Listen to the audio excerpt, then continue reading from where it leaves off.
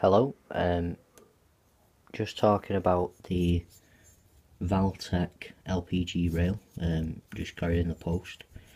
Um, it's actually from China this, I ordered this from China. Now, I'm not sure if they are actually made in China and then shipped over to Italy where Valtek is um, and then sold on from there because this rail is very I think you'd be hard pushed to tell if there was any difference with it. As it's got a serial number on it if it will focus Valtek it's the 3 ohms resistance coils with um, a 4 mil seat um, it's the typical black finish on the actual rail, the body itself, with the fittings you get with it. Um, as in the coils, they say Valtek, 3 ohms. They've all got the European serial stamping, E8 on and Valtek. Um, it it does say Italy on that stamping there underneath the Valtek marking. Um, they all say they all say Valtek.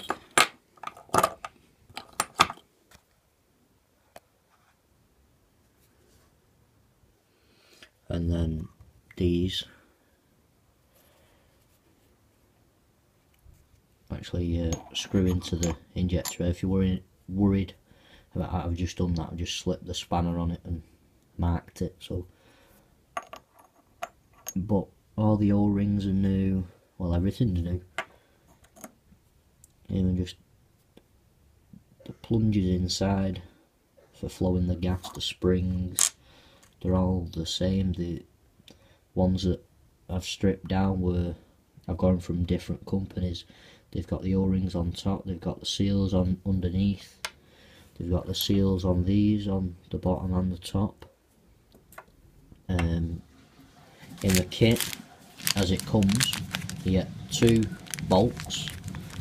You get the nozzles for actually bolting onto the bottom of the rail.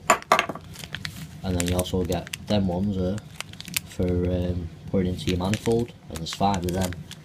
And you also get the uh, for mounting brackets. And when I've ordered these before off companies in the UK they've actually come with you don't get these you've got to buy them separately. So this rail um, has cost me it was £20 for shipping and the rail has cost I think £12 so £32 I've got it for. So if I can order some more and get the price down cheaper that'd be even better. But I mean I'm going to try this out on the Clio I've got so you'll all see then. We'll see how good it is then I've got a Valtek rail on the Suzuki Ignis that are gas converted as well. So at the weekend I might just compare the serial numbers, the stamp marks and just see what they're like because they look the same to me. The quality of the o-rings look decent the quality of the steel the material looks good it comes in the typical white cardboard box that you get when you buy them from companies. So that's that one. I want to manage to get the cam out the head on the Clio, so I've ordered the head gasket kit for it, and then we'll just get the cam seal in there. I might even do some porting. See if can open the intake ports up a little bit or at least smooth them out and get rid of some casting marks There's all the, the valves. That's an inlet valve. Uh, exhaust valve is. But you'll still not be able to see it. So if can adjust. I'll have to do a two part video on this then because I can't be bothered editing.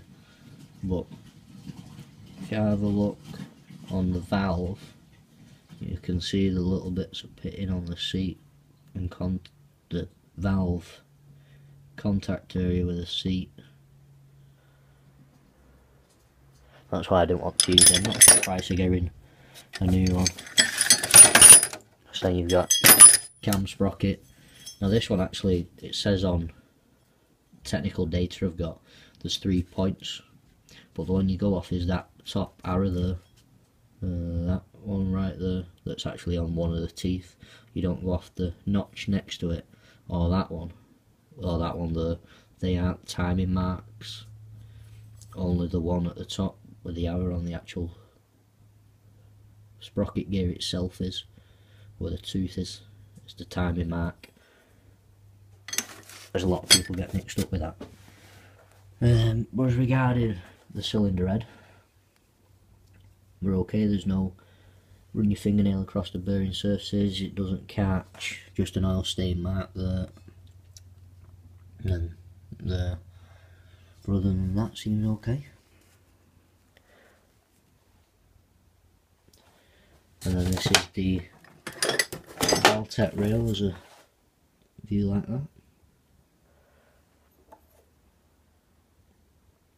Right, thanks for watching. Um, subscribe and put a comment below if you think this video was better because I'm actually back to using my phone again. Just let me know. Okay, thanks.